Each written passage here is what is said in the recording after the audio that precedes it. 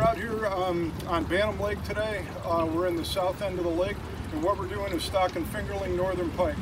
Um, what we've done for the last two years in Bantam Lake and Winchester Lake is an experimental stocking where we're purchasing pike from Minnesota. These, these fish that are in this tank just made a 25 hour trip from Minnesota to here and we got a great day for it. So um, uh, the fish seem to be doing pretty well. Um, there's a few that you'll see that are, um, you know, not doing as well, but um, they just made a 25-hour trip, so you, that's to be expected. Um, we expect at least some mortality on the trip. That's why we buy as many as we do. Um, we, we have a total of uh, 9,400 fish um, that came out from Minnesota. Half of them are going to go into Bantam Lake, 4,700.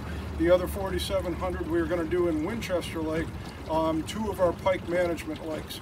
Um, so we're going to get these fish off the boat now and uh, start stocking. So to add on to what we were talking about before, one of the reasons we're actually buying pike, we raise um, most of our pike in the state, but um, because our production in state can be so variable from one year to the next. Um, we are, that's why we're trying this experiment by buying pike. The pike actually do naturally reproduce in most of our pike management lakes and in the Connecticut River. But what we have found over the years is that if we do not help them by supplemental stocking every year, they, they don't reproduce well enough to maintain a viable fishery.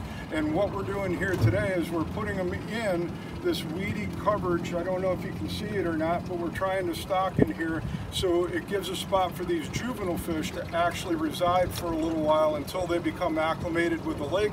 It gives them a place to feed and um, and just sort of avoid predators um, for until they get acclimated and then they can start dispersing throughout the lake.